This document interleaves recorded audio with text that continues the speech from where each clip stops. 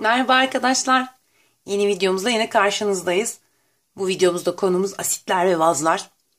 Daha yakından tanıyacağız onları. Neymiş bu asit, neymiş bu baz? Bir bakalım bakalım. Asitin tanımıyla başlıyoruz. Diyoruz ki sulu çözeltilerine H artı iyonu veren maddelere asit denir. Şimdi ben bir maddeyi suya attığımda biliyorsunuz ki bazı maddeler iyonlaşabilme özelliğine yani iyonlarına ayrılma özelliğine sahipler. Burada bir asit var HCl hidrojen klorür ya da hidroklorik asit diye adlandırdığımız.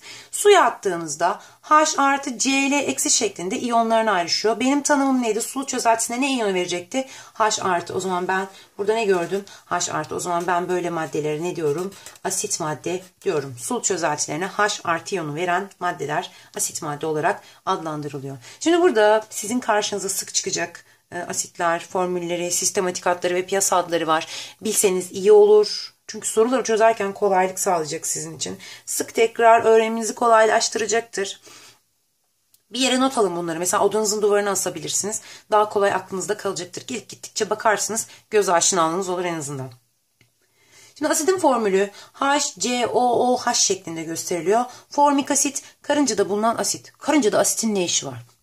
Toprağa, toprağın içerisinde o hani küçük tünellerini açarken karşılarına çıkacak bazı kayaları parçalamak için kullanıyorlar diyebiliriz. HCl hidroklorik asit, tuz ruhu diye adlandırdığımız asit, midemizde de bulunan mide asidi, H2SO4 sülfürik asit, zaç yağı diye adlandırılıyor piyas piyasada. H2CO3 ile ifade edilen karbonik asit piyasa adı yok. Ama şeyler de var. Gazoz gibi içeceklerin içerisinde de koruyucu madde olarak kullanılıyor. HNO3 nitrik asit kezzap dediğimiz tehlikeli asitlerden bir tanesi. H3PO4'te fosforik asit adını verdiğimiz asit. Bu da aynı şekilde gazozların, kolalı içeceklerin yapısında mevcut bulunan asitlerden. Tekrar söylüyorum bilirseniz çok iyi olur. Çünkü ayırt etmeniz kolay olacak. Ben ne dedim? H artı iyonu veren maddeler asit. Bakın şunun dışında şu bir istisnadır. Bakın ben burada H'ı görüyorum. Burada H'ı görüyorum. Burada, burada, burada görüyorum. Ben bunları kolayca ayırt edebilirim. Ama eğer bunu bilmezsem burada başka bir şeyler görebilirim. Şimdi bazıları gösterince tekrar göstereceğim size. Ama hmm, bilmeniz sizin için iyi olacaktır. Bana kalırsa ezberleyin gitsin. Şimdi gelelim asitlerin genel özelliklerine. Asitlerin tatları ekşi. Ya buradaki sarı şey çok benzemiyor ama bu bir limon. Limonun ekşi olmasının sebebi içinde bulunan asittir. Eğer içinde asit olmasaydı limon o kadar ekşi olmazdı zaten. Ee, veya sirkenin ekşi olmasının sebebi, bazı elma türlerinin ekşi olmasının sebebi benim içinde asit bulunmasından, maddenin içerisinde asit bulunmasından kaynaklanıyor. Türünsol diye adlandırdığımız bir madde var. Böyle kağıt şerit şeklinde. İki tip Mavisi var, kırmızısı var. E, turnusol eğer mavi turnusolu asitle temas ettirirseniz kırmızıya dönüştürüyor. Bunu şöyle aklımda tutacağım. Şimdi anne tokat atarsa ne olur? Yanağım kızarır. Ama babam vurursa fena olur. Anneler asitlerimizi ne yapıyor? Kızartıyorlar. Anne asitler turnusolu kırmızıya dönüştürüyorlar. Kuvvetli ve zayıf asit olmak üzere ikiye ayırıyorum. Ben bunları kuvvetli ve zayıf olarak ayırdığımda suda iyonlaşmalarına yani iyonlarına ayrışmalarına bakıyorum. HCl, HNO3 gibi yani hidroklorik asit ve nitrik asit gibi asitlerim kuvvetlidirler çünkü suda iyi iyonlaşırlar. CH3, COOH az önceki sayfada bu örnek yoktu o yüzden buraya adını da aldım. Asetik asit yani sirkede bulunan asitteki asit türüm suda iyi iyonlaşmaz. Bakın hiç ayrılmıyor. Dikkat ediyor musunuz? CH3, COO yapısı aynen kalıyor. Sadece H artı iyonu görebiliyorum. Suda iyi iyonlaşmadığı için zayıf bir asittir diyebiliriz. Bundan dolayı, iyonlaşmasından dolayıdır zaten kuvvetli ya da zayıf olması. Kuvvetli asitler, hani burada söylediğimiz gibi hidroklorik asit, e, nitrik asit gibi asitler yakıcı ve tahriş edicidir. Mesela ne yapar? Mesela giysilerinizi parçalar. Mesela ne yapar? Cildinize dökülürse yaralanmalarınızı, ciddi yaralanmalara sebep olur.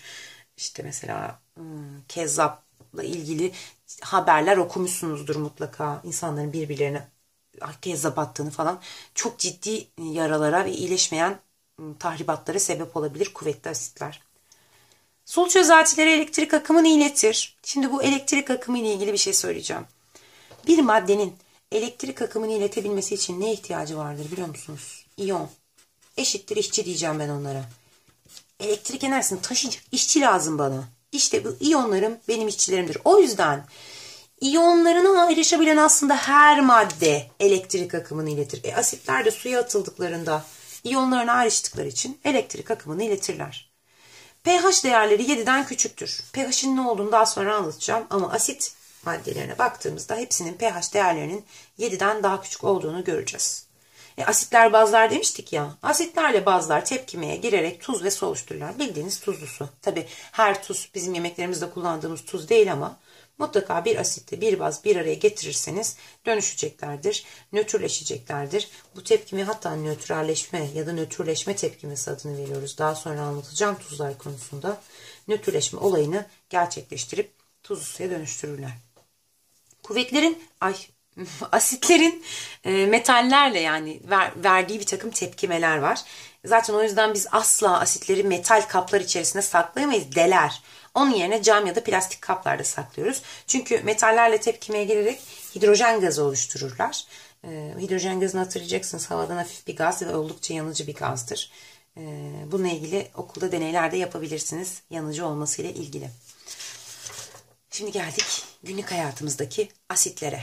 Nerede var bu asitler? Limonda var zaten az önce söylemiştik. İçerisinde bulunan asitin adı sitrik asit. Süt ve yoğurtta bulunuyor. Laktik asit ki laktik asit vücudumuza girdiği zaman bizde yorgunluk duygusu uyandırır.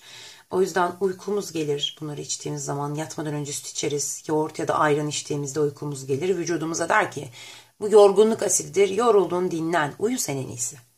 Elma, elma malik asit elmanın içerisinde bulunan asitim malik asit. Üzümde bulunan asitim tartarik asit. Çilekte bulunan asitim folik asit. Hazır meyve suylarının içerisinde benzoik asit. Hazır reçellerde sorbik asit. Karıncada bulunan formik asit. Gazozlarda bulunan karbonik asit ve kolalı içeceklerde bulunan asit türünde fosforik asit. Bilmem gerekiyor karşıma çıkacak test sorularında hangi gıdanın içerisinde hangi besinin içerisinde hangi asit var gibi. Ama ekşi tadı aldığın o çilekteki ekşiliği anlayabiliyorsun umarım. Tamamen ince limon gibi değildir çilek ama o ekşi tadı aldığın her yerde asitler karşıma çıkıyor. Bir de günlük hayatımızda asitlerin bazıları temizleyici madde olarak kullanılıyor. Onu da söyleyelim. Bu temizleyicilerden yalnız altını çizeceğim. Kireç sökücü olarak kullandıklarımız asittir. Neden kireç sökücü olarak kullandıklarımız asittir? Çünkü mermeri bile e, parçalayabilir asit. Eğer mesela evinizde mermer tezgah varsa denemeyin sakın. Anneniz çok kızar. Limon suyu yanlışlıkla mermere değerse beyaz lekeler bırakır. Çünkü yapısını bozar. Limonun içerisinde bulunan sitrik asit. Şimdi geldik asitlerin tersi, nötrleştiricisi bazılara. Asitler hatırlıyorsan sulu çözeltiler H artı iyonu veriyordu. Bazıları ise OH yani hidroksit iyonu veren maddelerdir. Suya attım bazı sodyum hidroksit. Suyun içerisinde sodyum bak burada ne var? OH eksi. O zaman ben OH eksi gördüğümde de kim olduğunu anlayacağım. Baz. Şimdi tekrar o şeye dönersem, asit örneğime dönersem bunu göstermek istiyorum. Burada işte şurada diyorsunuz ki aa burada OH var bu baz olmalı. Hayır. Formik asit görünüş olarak bir istisnadır. Bu bir asittir. Lütfen karıştırmayın. Kalan bazları da neye bakarak ayırt edeceğim? OH'a bakarak ayırt edeceğim. Şimdi bazımın formülü NaOH sistematik adı sodyum hidroksit. Sodyumu görüyorsunuz zaten burada hidroksit yanı da. Sud kostik olarak adlandırılıyor piyasa adı. Bazımın formülü potasyum hidroksit K potasyum hidroksit tanıyorsunuz. Potasyum hidroksit, potas kostik ismi. CaOH2 kalsiyum hidroksit adlandırmaları öğrenmiştik zaten. Sönmüş kireç olarak adlandırılıyor. İşte burada da istisnam benim amonyağım. Amonyak, amanyak. Bunda OH göremezsiniz. Neden? O az önceki asitte OH görmeniz gibi hep gıcık bir şeyler var değil mi? Haklısınız size hak veriyorum bu konuda. Amonyak OH'ını görmemenize rağmen ama su ile tepkime verdiğinde birazdan göstereceğim iyonlaşmalarını. E, su ile tepkime verdiğinde OH iyonu oluşturuyor. Günahını almayın. Yok gibi gözüküyor ama var emin olabilirsiniz. Şimdi geldik bazıların genel özelliklerine. Tatları acı. Ama öyle biber acısı falan değil. Sabun acısı. Sabun yaladınız mı bilmiyorum ama sabunun böyle değişik bir tadı vardır. Neyse sabunu geçelim. Bunun üzerine çok durmayalım da. Bazen ilaç içeriz böyle ilacın tiksindirici acımtırak bir tadı vardır, kötüdür. İşte o acı bazılarının acısıdır. Bazılar turnusolu maviye dönüştürürler. Kırmızı turnusolu bazla temas ettirirseniz maviye dönüşür. Yani babalar çakarsa ne olur? Anneler kızartıyordu ya asitler. Bazılar morartır. Bazılar maviye dönüştürür. Ele kayganlık hissi verir. Sabunun elinizde bıraktığı kayganlık hissi ya da çamaşır suyunun elinizde bıraktığı kayganlık hissi. Çünkü ikisi de bazdır. Temizlik maddelerimizde daha çok bazlar var zaten. Bunların da su çözeltileri akımını iletir. Neden iletiyordu? Çünkü içinde ne vardı? İyonlar vardı. İyonun olduğu her yerde elektrik akımını taşıyacak işçilerim var. E benim iyonlarım sodyum artı iyonumla OH eksi iyonun burada olduğuna göre ne yapacaktır? Tabii ki elektrik akımını iletecektir bazıların sul çözeltileri. Asitlerin hatırlıyorsanız pH değerleri 7'den küçüktü. Bazılarınki ise büyüktür. Ters işte. Ters bunlar birbirlerine. Asitlerle tepkimeye girerek tuz ve su oluştururlar. Söylemiştik nötrleşme tepkimeleri. Bunları da kuvvetli ve zayıf olarak ikiye ayırıyoruz ve aynı sebeple suda iyi iyonlaşanlara yani sodyum hidroksit gibi suda iyi iyonlaşanlara kuvvetli baz diyoruz. Kalsiyum hidroksit gibi. Ama suda iyi iyonlaşmayanlara zayıf diyoruz. Aslında amonyamız var diye bakın burada işte su ile verdiği tepkime görüyor musunuz? OH yine oluşturdu. Bazıdır aslında her ne kadar gözükmese de ihmal etmeyin. Karşınıza çıktığında bu bazdı, bu bazdı diye aklınızın bir kenarında kalsın. Şimdi bunları suyun içerisine attığımızda nasıl çözünüyorlar? Önemli sorular da karşımıza çıkıyor. HCl neydi? Hidroklorik asit. Hidroklorik asit ne yapıyordu? H artı iyonu ve klor iyonu oluşturacaktır. Sülfürik asit iki tane H artı iyonu ve SO4 iyonu. Neden iki tane? Çünkü denk olması gerekiyor. Tek yapsaydım burada bir hidrojen, burada iki hidrojen olacaktı. Karbondioksit hiç farkında olmayabilirsiniz. İşte bahsetmedik zaten ama asit özellik gösterir. H artı HCO3 eksi şeklinde iyonlaşır. Nitrik asit H artı artı NO3 şeklinde iyonlaşır. Karşınıza çıkabilir. Bilirseniz iyi olur. Hep H'a ayıracaksınız. Bazılara geldiğimde bazılarda da o H'a ayıracağım. Sodyum artı OH eksi şeklinde kim ayrılacak? OH ayrılacak. Zaten kuvvetli bir bazdı. Potasyum artı OH eksi amonyağı suya attığımda ne yapıyordu? NH4 amonyum iyonu ile OH oluşturuyordu. Bunları bulmak kolay. Bunu aklımda tutmam lazım.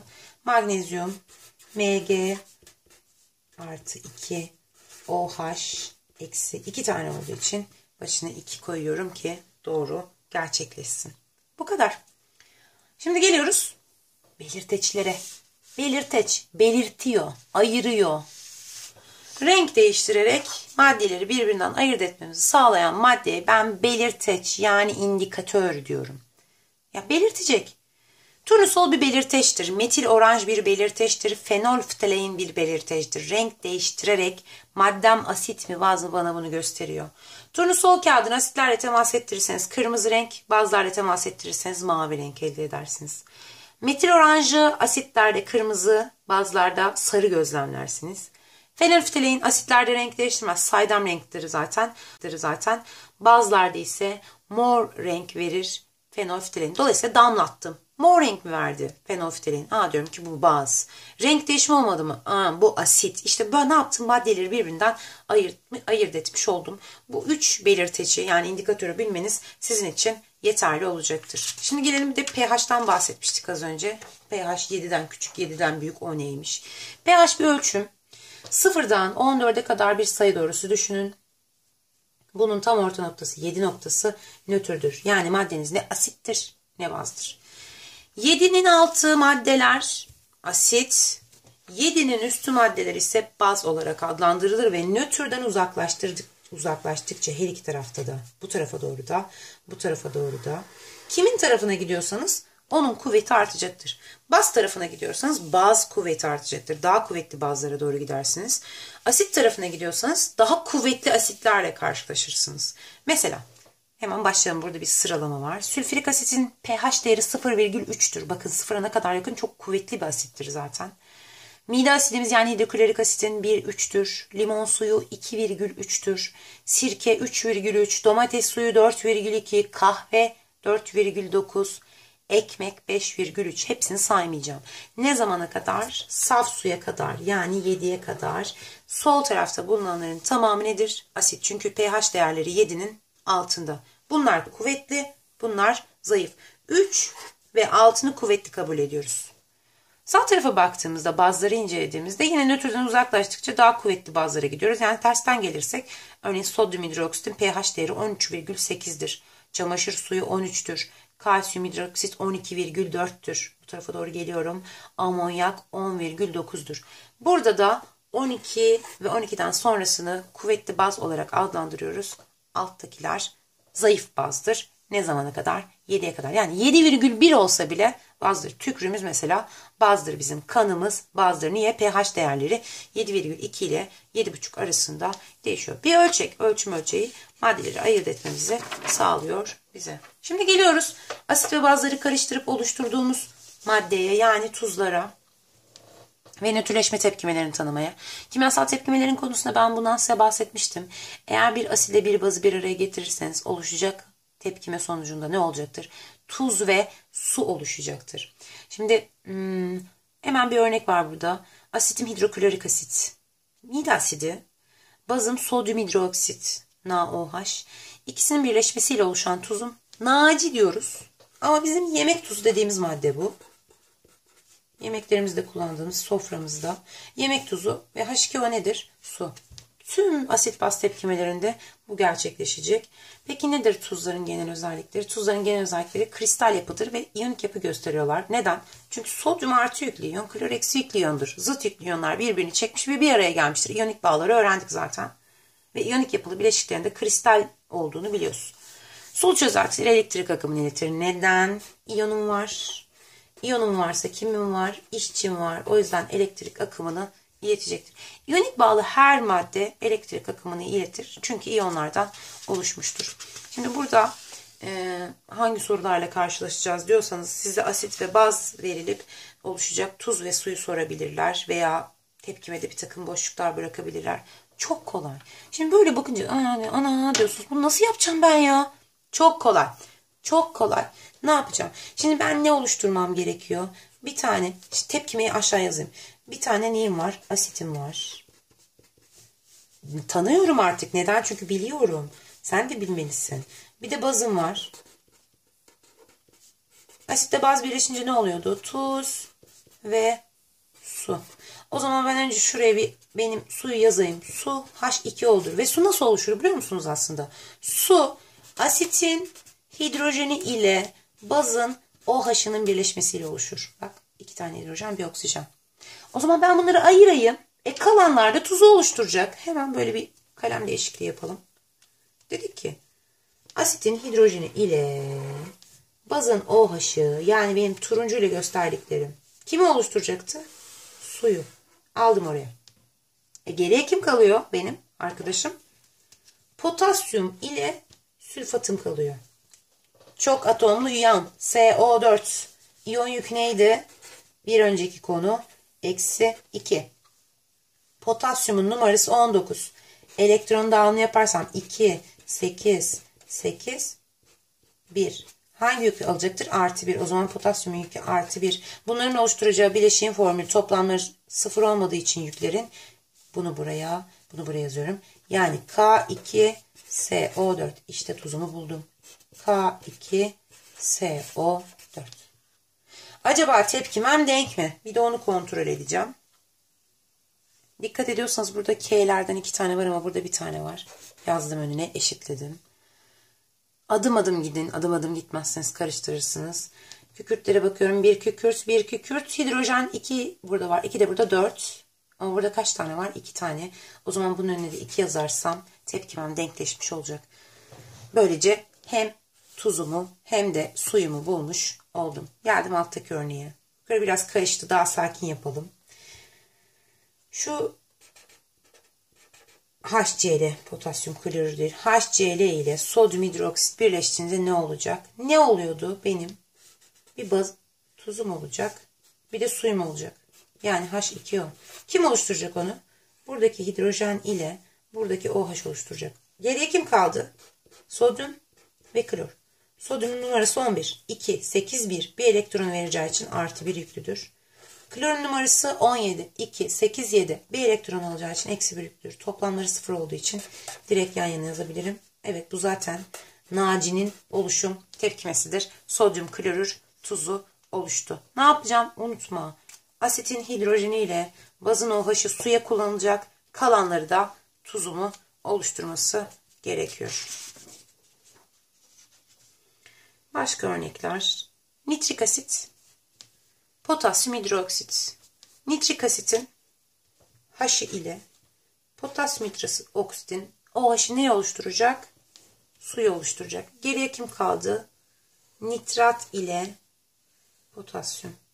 Nitratın iyon yükü eksiydi. NO3 eksi. Özellikle sağ tarafa yazıyorum çünkü potasyum artı yüklüyor. Hani önce katyon sonra anyon yazıyorduk ya. 2, 8, 8, 1. 1 elektron verecektir. Potasyumun iyon yükü artı 1. Artı 1, eksi 1 sıfırlanıyor. O zaman K, N, O, 3 bulmuş oldum. Denk mi kontrol ediyorum? Potasyum, potasyum, azot, azot eşit. 3 oksijen, bir de burada 4, 3, bir de burada 4. 1, 2 hidrojen, 2 hidrojen denk. Şimdi geliyorum buraya. MgOH2 bu nedir? Baz. OH görüyorum çünkü. Bu tuz o zaman. Çünkü bu da su. Bu ne tepkimesidir? Bu bir nötrleşme tepkimesidir. Kim eksik? Asitim eksik. Ben ne biliyorum? Bunun OH ile asitin H'ı birleşti. O zaman asitte H var. Ve neyi oluşturdu? Suyu oluşturdu. Geriye kalan magnezyum ile kim birleşmiş? PO4. O zaman PO4 aldım buraya. İyon yükü eksi 3. Bu artı. Bakıyorum. Toplamları sıfır değil. O zaman çaprazlayacağım. Bunu bunun altına, bunu da bunun altına. H3 PO4. İşte buldum asitimi bulmuş oldum. Şimdi bir örnek daha. Buraya baktığımızda e, bu sefer bana haşlıyı vermiş. Yani asiti vermiş değil mi? Evet. Kim var? Tuz var. Kim var? Su var. Şimdi benim asitimin haşı ile kalem değiştireyim. Kim birleşti? Bazımın OH'ı birleşti. O zaman bazımda ne var? Bazımda bir OH var. Niye? Çünkü suyu onlar oluşturdular. E geriye kalan S ile kim birleşmiş? Alüminyum. O zaman benim diğer elementim de alüminyum. Alüminyum numarası 13, 2, 8, 3 artı 3 yüklüdür. OH eksi yüklü. Bunların oluşturacağı bileşim formülünü bulmak için çaprazlıyorum. Alüminyumun altına hiçbir şey gelmiyor ama OH'ın altına 3 gelecek. Çok atomlu yan olduğu için parantez içerisinde gösterip 3 yazıyorum. Evet bazımı buldum. AlOH iç alüminyum hidroksit olmuş oldu. Evet, örnekler bu kadar ama istisna durum var. Bu hep çıkıyor. Testlerde çıkıyor. Nasıl yapacağım, nasıl yapacağım. Amonyak, amonyak. Amonyak işi bozuyor. Amonyak NH4Cl diye bir şey oluşturuyor. Yani burada ne oluşmaz? Su oluşmaz amonyum klorür oluşturuyor. Sadece tuzu oluşturuyor. O zaman amonyak için şöyle diyorum. Amonyağa şu ismi veriyorum. Susuz baz. Yani amonyağı görünce dikkat edin arkadaşlar. Dikkat ediyorsanız bir sürü istisnası var. Su oluşmayan bir nötrleşme tepkimesi gerçekleştiriyor. Şimdi geliyoruz doğa hayatını oldukça olumsuz etkileyen asit yağmurlarını tanımaya asit yağmurları nasıl oluşuyor? Aslında çok basit. Asit yağmurları çok basit. Fosil yakıtlar diye adlandırdığımız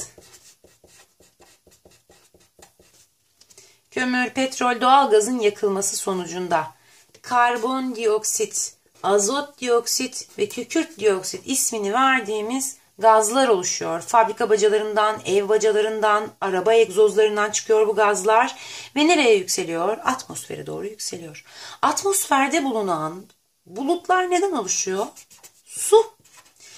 Suyun içerisine gittiğinde CO2 yani kükürt dioksit su ile birleşerek su ile birleşerek sülfürik asiti, azot dioksit su ile birleşerek nitrik asiti, karbondioksit su ile birleşerek karbonik asiti oluşturuyor. Artık benim bulutum sudan oluşmuyor. Neden oluşuyor? Asitten oluşuyor. İşte bu bulut soğuk hava ile karşılaştığında yeryüzüne yağış olarak düşüyor ve bu ne olmuş oluyor? Asit yağmuru. Kim sebep oldu asit yağmuruna? Fosil yakıtlar. Fosil yakıtlar ne oluşturdu? Karbondioksit, azot dioksit ve kükürt dioksit. Azot dioksit ne yaptı? Havadaki su buharı ile birleşip sülfürik asit, nitrik asit ve karbonik asit oluşturdu. Artık bu bir su bulutu değil ne bulutu? Asit. Yağmur olarak yeryüzüne düştüğünde asit yağmur olmuş oluyor. pH değerleri sizin fark edeceğiniz aralıklarda değil. Direkt öyle ay üstüme asit yağmur düştü yandım Allah değil. Ama toprağa, e, sularda yaşayan canlılara oldukça ciddi zararlar veriyor. Zararlarını da görelim. Videomuzu sona erdireceğiz. Bir kere toprağın verimini düşürüyor. Ne demek? Biz toprağın yaklaşık şöyle 20 santimlik bir kısmında tarım yapıyoruz. Şu kadarlık bir kısmında. Yani 20 santim olmuyor. Ben çok açamıyorum görmeyeceksiniz diye. E bu 20 santimlik kısımda bizim verim diye adlandırdığımız mineral maddeler var. Yağmur yağdığı zaman bu verimi alıp toprağın derinliklerine götürüyor ve bitkilerin kökleri o kadar derinlere ulaşmıyor. Asit yağmurları toprağın verimini toprağın derinliklerine götürdüğü için toprağın verimi düşüyor. Bu kadar.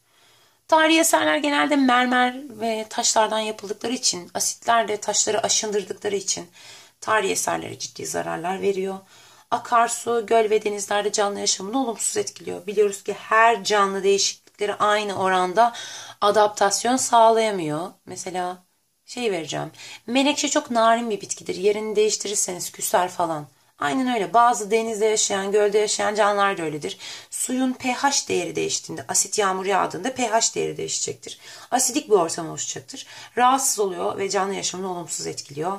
En sonunda binalarımızın dış cephelerine, araba kaporta ve boyalarına zarar verir ve bana sorarsanız en önemsiz nokta da burası. Arabalarımızı boyatır, binalarımızı yeniden boyatırız ama diğer üçünün telafisi çok mümkün görünmüyor. O zaman asit yağmurundan korumak için ne yapıyoruz? Fosil yakıtlardan, kömür, petrol, doğalgaz gibi yakıtların aşırı kullanımından uzak duruyoruz. Görüşmek üzere. Kendinize iyi bakın. Hoşçakalın.